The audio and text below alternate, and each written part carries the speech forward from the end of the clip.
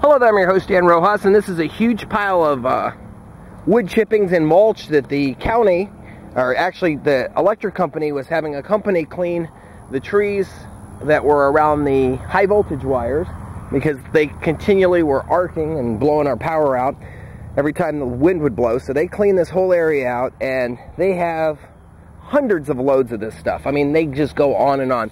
But what I want to show you about this and mulch in general is the power of it. Now, I'm going to dig down in here a little bit. This stuff was dumped yesterday, and it's already starting to decompose.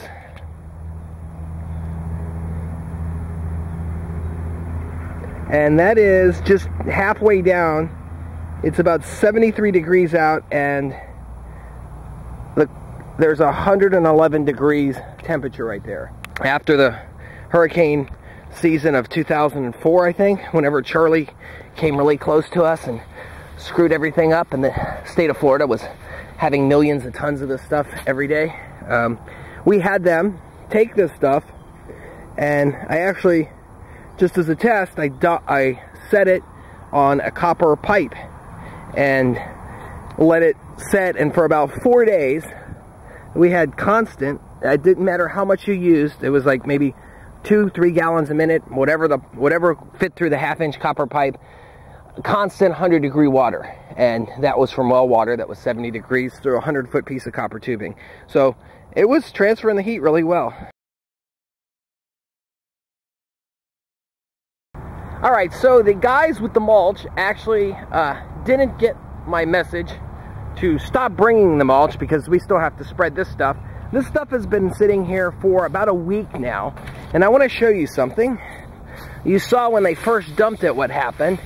If you look now, it's even hotter. This is just incredible. There's that steam coming out of there is all just this stuff decomposing. I haven't done a thing to it. It's also worth noting that these are kind of in the shade, so the steam and the heat is from decomposition. It is not from, uh, the, I mean, some of it's probably from the sun, but they dumped this at nighttime, and uh, it was steaming in the morning. So that'll give you an idea of what you're dealing with. They have a can of water, a metal can. It's an old WD-40 can. I cleaned it out really good. I'm not going to drink the water. I'm just going to use it to see how hot we can get this water. So what I'm going to do is dig a nice hole and put this can in there. Now keep in mind that some of this is going on several, several days.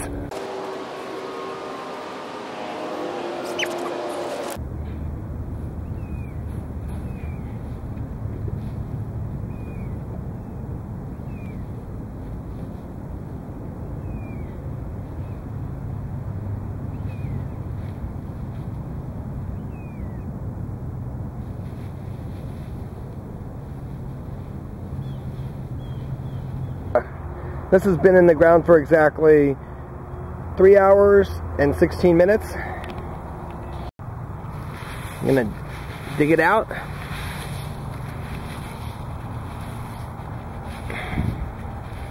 And see, ouch, oh wow, that's hot. I don't have my gloves with me.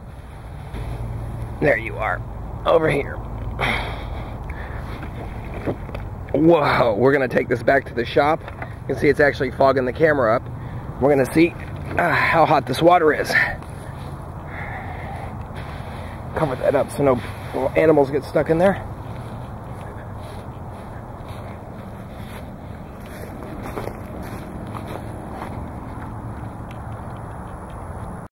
All right, so all of my thermometers are pretty much shot. Um, I'm gonna stick that in there and see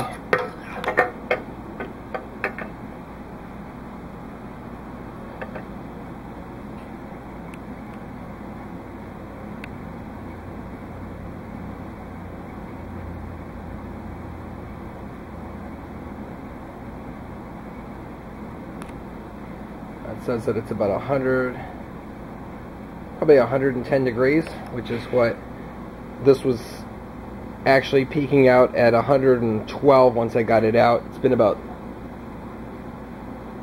15 minutes, so 110. So it's cooled off a little bit, but in three hours we were able to get this up to 112 degrees from 70 degrees. Now it is 85 degrees outside, so that really can throw the test off a little bit. The well water was 70 to start with. We jumped up uh, 40 degrees. It's pretty good for one gallon just sitting in mulch. Now the mulch isn't going to break down forever. It's going to eventually stop the heating process, but keep in mind this was just a little fraction of those piles out there. With all of those piles, we probably could have easily put several hundred gallons under there and uh, heated it up. Just an interesting little experiment to do.